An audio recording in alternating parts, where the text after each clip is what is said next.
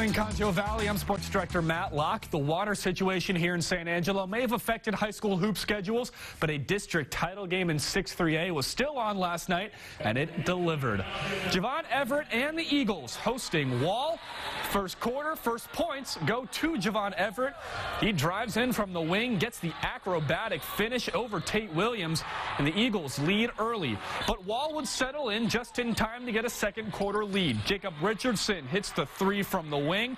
Wall had a four-point lead at the half, but TLCA came out hot in the third. Sterling Hardy's three caps off a run that gives the Eagles a one-point lead. But again, here come the Hawks. Jack Duncan drives, finishes, gets the foul. Iverson Armstrong hits the jumper. And then Tate Williams down low, the easy finish. Wall leads TLCA timeout. We go to the fourth quarter. A quick flurry of buckets. Keep up. Corner three, Drew Sherrill. On the other end, Armstrong responds with a three of his own.